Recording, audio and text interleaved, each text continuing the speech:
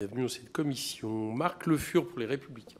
Oui, merci Monsieur le Président, merci pour ces rapports, merci pour vos propos Monsieur le Ministre. Plusieurs choses.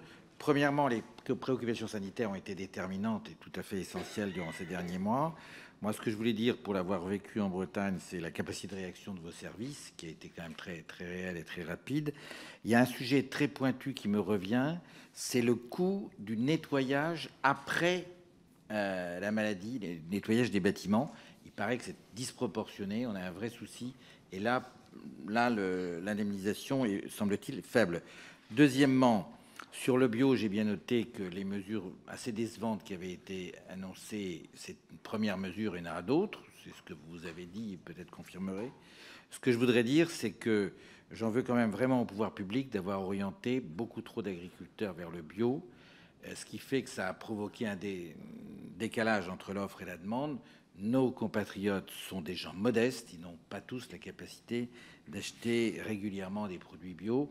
Moralité, on a cette crise qui est actuelle et qui est encore sans doute devant nous. Troisièmement, vous êtes aussi le ministre des lycées professionnels agricoles. On va vers des réformes en matière de lycées professionnels. J'espère, et je vous en conjure, monsieur le ministre, qu'on gardera la singularité des lycées professionnels agricoles. J'ai la chance d'être membre d'un conseil d'administration à Merdrignac en tant que conseiller régional, euh, c'est une vraie richesse, nos lycées agricoles. Ils ont une vraie latitude, une vraie autonomie, un vrai ancrage dans la société. J'espère que, quelle que soit la réforme, on gardera cette singularité. Euh, quatrième élément sur l'assurance récolte. Je ne vous cache pas que l'assurance récolte ne prend absolument pas dans le monde de l'élevage. Ils ont le sentiment que ceci a été bâti pour le monde euh, du végétal, ce qui est vrai objectivement, et qu'ils euh, sont très loin des préoccupations euh, de ceux qui ont organisé l'assurance récolte. Peut-être, vous allez me dire l'inverse, et je demande qu'à être convaincu, moi, mais en tout cas, nos agriculteurs ne le sont pas.